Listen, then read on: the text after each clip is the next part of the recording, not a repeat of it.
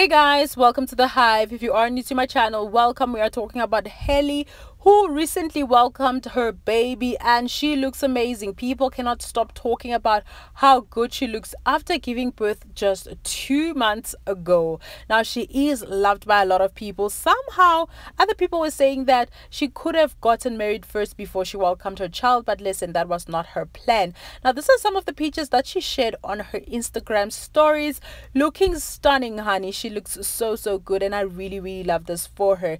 Now, a lot of people might not understand understand her decision as to becoming a mom before getting married married rather. And come to think of it not everyone actually wants to get married. Hey some people just want to have lifetime partners and that's about it. But anyways back to the topic. This girl looks amazing. Listen she's just a gorgeous girl and i cannot i cannot dislike her. She's amazing. She looks good. She looks stunning and even her recent pictures that she's been sharing are just so so gorgeous. Well good for you mommy. What are your thoughts on this one? Uh, do let me know in the comment section uh, for more entertainment more gossip more news. Uh, stay tuned.